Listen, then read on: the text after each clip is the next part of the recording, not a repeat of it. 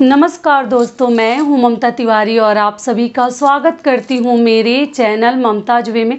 कैसे हैं आप सब? तो ये बताने के लिए कमेंट बॉक्स में जय माता दी हमेशा की तरह ज़रूर लिखें। तो चलिए, आज हम इस वीडियो में जानेंगे कि पति पत्नी के बीच में जो ही मन मुटाव रहता है तो वो क्यों रहता है? क्या हमारा कमज़ोर हो जाता है? किस कारण से रहता है? तो इसके लिए आप लोग कहे थे, दीदी, उपाय बताइएगा। तो इसके लिए मैं आपको उपाय बताती हूँ कि अगर हम महिलाएँ ठान ले कि गुरुवार के दिन हम ये पाँच कार्य ज़रूर करेंगे अपने पति के सही सलामती के लिए, अपने घर में सुख समृद्धि के लिए और हमारे पति हमारे साथ सही व्यवहार करे। कभी हम दोनों के बीच में अनबन ना हो, किसी की नज़र ना लगे तो इसके लिए हम ठान ले कि हम गुरुवार के दिन ये पाँच कार्य ज़रूर करेंगे तो करके ही रहेंगे। सोच लिए हैं तो करेंगे ही तो इसी के ऊपर आज का हमारा वीडियो है। तो आप बने रहिए मेरे साथ, मेरे चैनल पर। अगर आपको मेरा वीडियो पसंद आता है तो प्लीज़ आप मेरे चैनल को सब्सक्राइब कर दीजिएगा। बेल आइकन को प्रेस कर दीजिएगा, जिससे मेरे वीडियो के नए नोटिफिकेशन आप सभी के पास सबसे पहले पहुँचे। तो चलिए शुरू करते हैं। तो सबसे पहली बात है सबसे महत्वपूर्ण बात है कि गुरु ग्रह हमारे जो है ना पति और पुत्र के कारक माने जाते हैं। अगर हमारे गुरु ग्रह गुरु बृहस्पति जो है मज़बूत रहते हैं ना तो एक तो शादियाँ भी लड़कियों की आ, मतलब जल्द से जल्द होती हैं और कहीं ना कहीं हमारे घर में सुख समृद्धि के लिए भी गुरु ग्रह को ही कारक माना जाता है। पुत्र और पति के लिए तो सबसे बड़े वो कारक माने जाते हैं कि अगर वो हमारे मज़बूत रहते हैं ना तो हमारे घर में चाह कर भी अशांति, पति के साथ झगड़ा, लड़ाई मन मुटाव अनबन, ये तो हो ही नहीं सकता। अगर मान लीजिए कि किसी भी प्रकार की अगर परेशानी घर में आता है तो कहाँ से आता है? घर में हर सुख समृद्धि बना ही। है और सबसे पहले दाम्पत्य जीवन के ऊपर ही इसका प्रभाव पड़ता है। अगर हमारे गुरु ग्रह कमज़ोर रहते हैं तो इसका प्रभाव सीधे डायरेक्ट हमारे दाम्पत्य जीवन पर ही पड़ता है। जो खुशहाल दाम्पत्य जीवन आप देखते हैं, धीरे धीरे धीरे धीरे, उसमें कुछ न कुछ परेशानियाँ आती जाती हैं। कुछ ना कुछ जैसे पति को देखने में पत्नी की कुछ आदतें अच्छी नहीं लगती हैं और पत्नी को भी पति के कुछ आदत अच्छे नहीं लगते हैं। तो इसका यही माना जाता है कि हमारे गुरु ग्रह जो हैं कहीं ना कहीं कमज़ोर होते चले जाते हैं। तो हमें ठान कर रखनी है कि ये पाँच कार्य हम गुरुवार के दिन ज़रूर करेंगे। अगर अपने पति की सही सलामती चाहते हैं, अपने घर में सुख समृद्धि चाहते हैं और अपने लिए उनके मन में प्यार चाहते हैं, क्योंकि सीधे अगर दाम्पत्य जीवन पे मान लीजिए अटैक होता है, या मतलब खुशियाँ चली जाती हैं। घर का जैसे लगता है ना कि पति इधर मुँह फुला के रहे, पत्नी इधर मुँह फुला के रहे, कोई किसी से बात नहीं कर रहा है तो सोच लीजिए उस घर में खुशहाली कहाँ से आएगी? और घर में सुख संपत्ति थोड़ा कम ही रहे। जैसे धन दौलत कमी रहे और पति पत्नी अगर मिलजुल कर रहते हैं ना, हंसमुख रहते हैं, बातचीत करते हैं, प्यार से रहते हैं, उस घर में तो ऐसे ही लगता है कि हर खुशी आपको मिल रही है। लेकिन सब खुशी मिल रही है धन संपत्ति से भरे पड़े हैं, गहना पे गहना हमारे पास है और पति और पत्नी में अन अनबन है, बातचीत ही नहीं है, एक दूसरे के प्रति प्रेम ही नहीं है तो सोच लीजिए, मन कहाँ खुश रहता है? किसी का भी मन खुश नहीं रहता है। तो इसलिए आप लोग को ध्यान रखनी चाहिए कि ये पाँच कार्य आपको गुरुवार के दिन ज़रूर करनी है। तो सबसे पहला कार्य क्या है? गुरु ग्रह को अगर मज़बूत करना है तो तो गुरुवार के दिन आपको ना, एक तो नॉनवेज नहीं खाते हैं, सभी को मालूम है।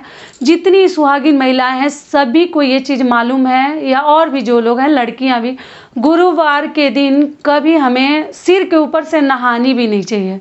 बाल तो धोनी ही नहीं चाहिए सिर के ऊपर से आपको नहानी भी नहीं चाहिए। क्योंकि इससे भी हमारे गुरु ग्रह जो हैं कमज़ोर होते हैं, लड़कियों के होते हैं तो उनकी शादियों में अड़चने आने लगती हैं, शादियाँ नहीं हो पाती हैं जल्दी से। और पत्नियाँ जो हैं, स्त्रियाँ हैं, अगर वो करती हैं सुहागिन महिलाएँ तो पति के साथ कहीं ना कहीं जो है, आपका रिश्ता जो है, मज़बूत नहीं होते जाता वो कमज़ोर होते चला जाता है और हमें पता भी नहीं चलता। दूसरा कार्य हमें क्या करनी है कि गुरुवार के दिन आपको आप ये चीज़ जानते भी होंगे, आपके भी जो घर में बड़े बुज़ुर्ग हैं, बताते होंगे कि गुरुवार के दिन स्नान तो सभी करते हैं सबको मालूम है तो क्या करना है? थोड़ा सा अपने जल में ना पीला जैसे हल्दी ना मिला लेनी चाहिए। क्योंकि पीली चीज़ों का अगर उस दिन हम प्रयोग करते हैं इस्तेमाल करते हैं तो इससे हमारे घर के मतलब बृहस्पति देव है ना, पीले चीज़ों से ही प्रसन्न रहते हैं। तो जितना ही पीला चीज़ों का प्रयोग करते हैं, भोजन में करें पानी में करें, वस्त्र के रूप में करें तो गुरु बृहस्पति देव बहुत अधिक प्रसन्न रहते हैं। और आपके जो वो पति और पुत्र के कारक हैं, अगर वही मज़बूत रहते हैं तो आपके घर में कहाँ से परेशानी आएगी। बिल्कुल नहीं आ सकती। तो जल में ना थोड़ा सा आपको हल्दी मिलाकर ही स्नान करनी चाहिए। याद करके रखिए गुरुवार के दिन हमें मिलानी है। तो ये हो गया हमारा दूसरा नियम। तीसरा नियम क्या है कि गुरुवार के दिन एक साड़ी या एक सूट आपको ज़रूर रखनी चाहिए। आप पूजा करें, ना करें, लेकिन गुरुवार के दिन पीला वस्त्र ज़रूर धारण करें। पीला वस्त्र धारण करके ही आपको उस दिन रहनी चाहिए। उससे भी हमारे गुरु बृहस्पति देव मज़बूत होते हैं। चौथा चीज़ क्या है कि गुरुवार के दिन आप लोग ऐसे लड़कियों के लिए तो नियम है कि व्रत रखनी चाहिए, उनको पूजा अर्चना करनी चाहिए केले के वृक्ष का पूजा करके और शादी के लिए मैं कई ऐसे उपाय गुरुवार का बता चुकी हूँ। लेकिन जो स्त्रियाँ हैं, अपने घर में सुख समृद्धि और शांति के लिए गुरुवार के दिन आप व्रत रखें या ना रखें, लेकिन चना दाल जो है, चने की दाल, गुड़ और हल्दी को लोटे में डालकर जल के साथ और तीन चीज़ें डालकर अगर आपके आस पड़ोस केले का पेड़ है तो केले के पेड़ में भी जल डाल सकते हैं। या आप घर में विष्णु भगवान का फ़ोटो रखें तो जल में डालकर उनकी पूजा अर्चना उस दिन ज़रूर कीजिए। और उसके बाद उस जल को ना अगर नहीं आपको मिल रहा है, जैसे केले का पेड़ नहीं मिलता है तो अपने तुलसी जी के पास भी डाल सकते हैं। तुलसी जी के क्यारी में डाल सकते हैं। लेकिन ज़रूर उस दिन चना चने की दाल, गुड़ और हल्दी को लोटे में डालकर ज़रूर आपको पूजा करनी चाहिए, क्योंकि उस दिन लक्ष्मी माता का भी दिन माना जाता है। गुरुवार के दिन लोग लक्ष्मी पूजा भी करते हैं। बृहस्पति देव का तो पूजा करते ही हैं, हम लड़कियाँ, हम महिलाएँ तो वो भी आपको कार्य करनी है, व्रत रहें या ना रहें। अगर नहीं मान लीजिए आप पूजा कर लेते हैं और कथा सुन लेते हैं ना, कथा पढ़ लेते हैं, गुरु बृहस्पति देव का दो दो कथाएँ हैं तो आपको पुस्तक मिल जाएगी किसी भी पुस्तक मतलब पूजा पाठ के दुकान में, जहाँ पूजा पाठ की चीज़ें आपको मिलती हैं, वहाँ आपको मिल जाएँगी। तो अगर वो कथा आप सुनते हैं और दूसरों को सुनाते हैं, उससे भी हमारे घर में, हमारे पति के साथ हमारा रिश्ता खराब नहीं होता और गुरु बृहस्पति देव हमारे मज़बूत रहते हैं।